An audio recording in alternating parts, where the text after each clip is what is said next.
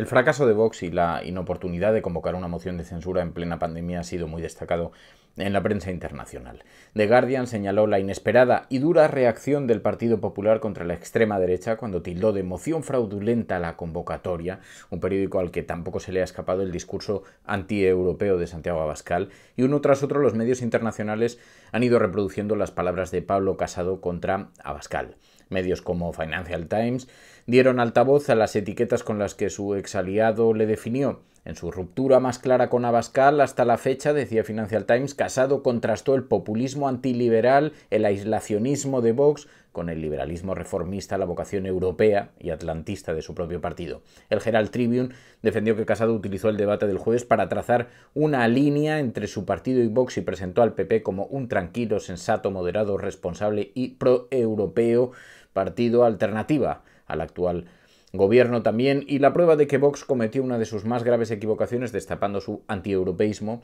es que así ha sido referenciado en toda la prensa internacional, un gran error que habrá resonado en Bruselas y que facilitó al Partido Popular su ruptura. Pero es que las carencias de Vox han quedado muy en evidencia y no solamente en la prensa nacional y no solamente por errores en el discurso como ese, la arrogancia de sus dirigentes, pensando que los partidos no iban a contestar adecuadamente a sus provocaciones, retrata muchas cosas. Pero quizá la más importante es que en el Parlamento como en la vida uno no puede mirar mucho rato con desprecio y por encima del hombro a los demás, porque infravalorar a los rivales suele ser desastroso. Resulta paradójico que todos los partidos políticos, menos Vox, acertasen en sus intervenciones y en sus estrategias, prueba inequívoca de que España es más lúcida, más ágil y más moderna de lo que la fuerza de extrema derecha ha creído nunca.